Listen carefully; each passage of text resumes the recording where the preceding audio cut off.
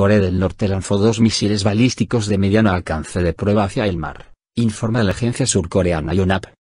De acuerdo con el Estado Mayor de Corea del Sur, citado por la agencia, los lanzamientos fueron realizados desde la región de Sucheon, al norte de Pyongyang, hacia el Mar del Este, la denominación coreana para el Mar del Japón. Anteriormente este martes Seúl llamó a su vecino norcoreano a abandonar los actos provocativos que recrudezcan las tensiones en la península coreana. Estas declaraciones tuvieron lugar un día después de que Corea del Norte efectuara el lanzamiento de 16 misiles de corto alcance hacia el Mar del Este.